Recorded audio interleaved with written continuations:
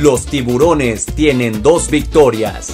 Veracruz contra Correcaminos, sábado 31 de julio, 19 horas, Estadio Luis Pirata Fuente. Vamos por el tercer triunfo.